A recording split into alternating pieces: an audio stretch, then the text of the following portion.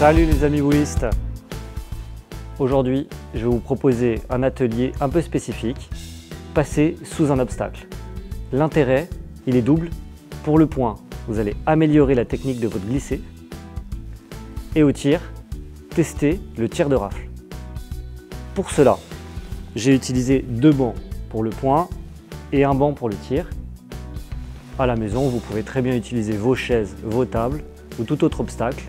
L'intérêt, c'est d'avoir une hauteur moindre pour pouvoir passer en dessous. Démonstration?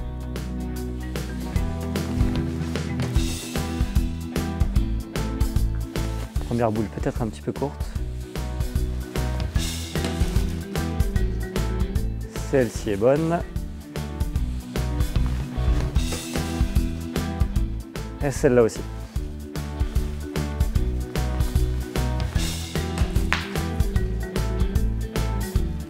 Faites cet exercice une heure par semaine pendant un an et la boule glissée et le tir de rafle n'auront plus aucun secret pour vous.